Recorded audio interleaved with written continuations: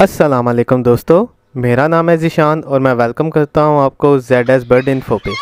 और उम्मीद करता हूँ कि आप सब खैर खैरियत से होंगे। दोस्तों, आज का जो मेरा टॉपिक है, मेरे टॉपिक का नाम है कि इस चीज़ के बाद गर्मी को भूल जाएँ और ब्रीड भी हासिल करें।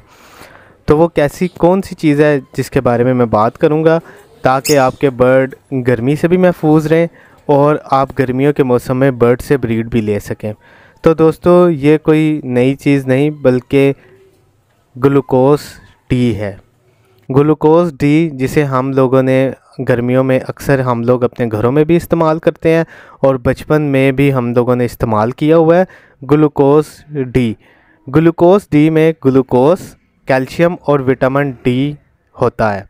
विटामिन डी बर्ड के लिए बहुत ज़रूरी होता है, और यही बर्ड की ब्रीड के लिए इम्पोर्टेंट विटामिन है। आप जब अपने बर्ड को ग्लूकोज, कैल्शियम डी और विटामिन डी देते हैं तो दोस्तों आपका बर्ड एक्टिव रहेगा।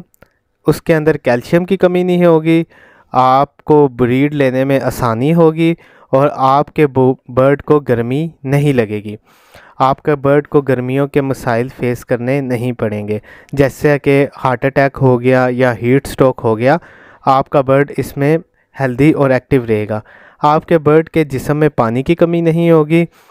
इसको इस्तेमाल करने का तरीकाकार ये है कि आपने एक लीटर पानी में एक चम्मच ग्लूकोज शामिल कर लेना है और एक दिन छोड़ के एक दिन बाद अपने बर्ड को देना है। जैसे एक दिन आपने मंडे वाले दिन ग्लूकोज वाला पानी दिया तो आपने आगे ट्यूसडे वाले दिन आप अपने बर्ड को सादा पानी देना है।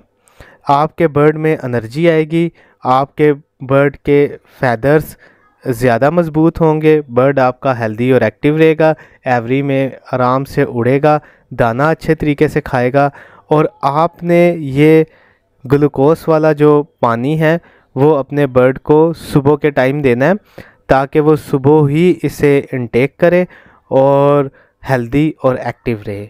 उम्मीद करता हूँ कि आपको ये वीडियो पसंद आई होगी। मेरी और वीडियोस देखने के लिए मेरे चैनल को लाइक करें सब्सक्राइब करें। Thank you